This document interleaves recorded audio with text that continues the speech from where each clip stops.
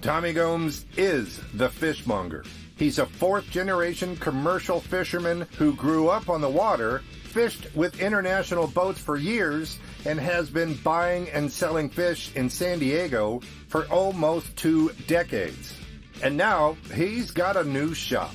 Tunaville Market and Groceries. We're in the heart of San Diego, Point Loma. We called it Tunaville in honor of the neighborhood, the men and women of the American Tuna Fleet. They all grew up just across the channel here. Tunaville Market and Grocery is a partnership between Tommy and his pal Mitch Conniff of Mitch's Seafood.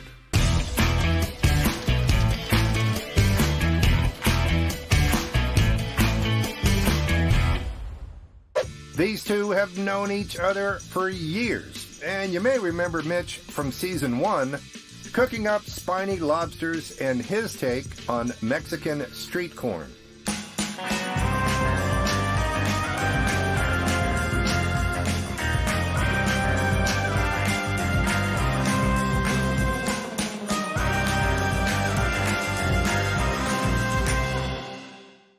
This lobster's delicious, fresh out of the water, right off the boat into Mitch's Seafood.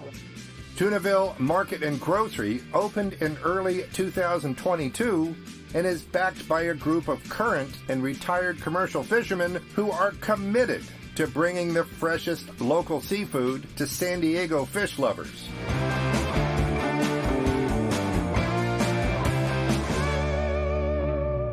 These are the men and women who gamble every time they set out for the open sea. They're gambling with the market, the weather, and sometimes with their lives. It's a damn dangerous job, and if you like fresh seafood, appreciate the work it takes, cause it ain't easy. Tommy had a short list with one name for the manager of the new shop. Meet Sunny Jordan.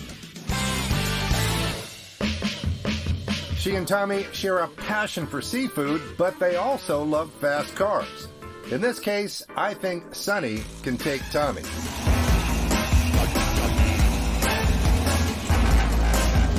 Our insurance providers should close their eyes for this next part.